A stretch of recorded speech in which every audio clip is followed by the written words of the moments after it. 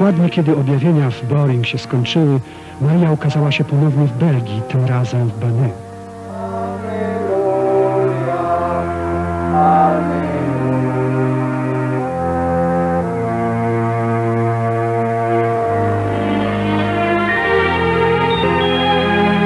Matka Boska objawiła się Mariette Becco, gdy ta właśnie skończyła 12 lat.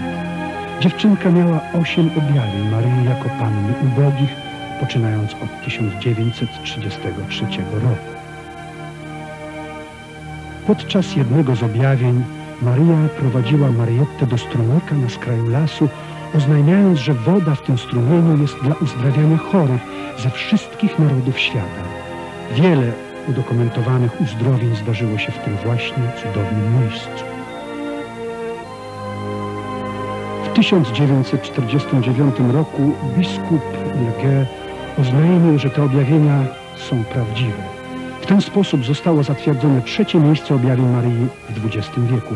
Matka Boża objawiła się w Benin, aby przypomnieć nam, że w Bożym planie zbawienia ona jest istotnym ogniwem łączącym nas z Jezusem.